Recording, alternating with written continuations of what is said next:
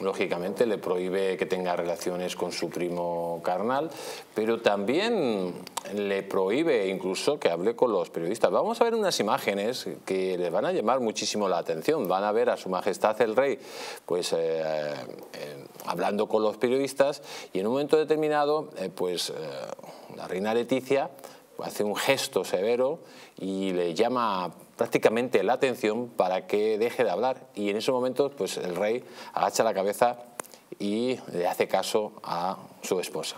Veanlo.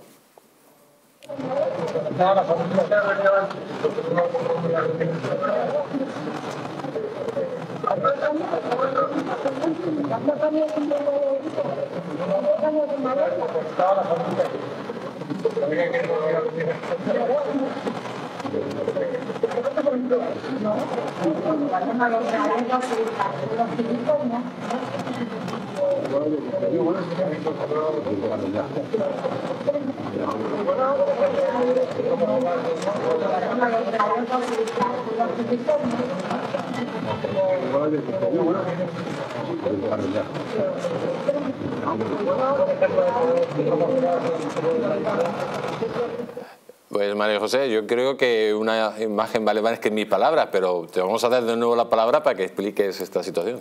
Bueno, pues la verdad es que como hemos podido comprobar, bueno, yo creo que además todo esto tiene que ver eh, en, aquel, aquel, en aquella presentación donde ellos eh, llegaron en una rueda de prensa ante los periodistas pues para eh, hacer oficial su compromiso, ¿no? Ese momento en el que eh, la que fuera posteriormente reina Leticia le toca el brazo y le dice ¡ay! déjame hablar, ¿no? que eh, pudo ser un gesto así divertido, pero que muchos cuestionaron. Es evidente que ella es una mujer controladora, no seré yo quien diga si le... Si, yo creo que lo que le mueve es intentar que todo salga bien, pero desde luego se le ve un carácter tremendo en el que mm, Felipe VI, sin ninguna duda, es un hombre muy rendido a ella, es un hombre profundamente enamorado y es un hombre que yo creo que mm, si ella es controladora, él, sin la más mínima duda, eh, le permite a ella que ejerza el control y además con sumo gusto. ¿no?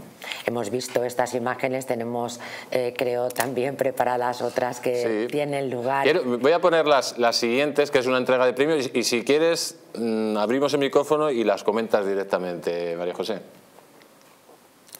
Estas imágenes que, estamos viendo corresponden a la entrega de los premios nacionales de investigación eh, que tuvieron lugar en Alicante.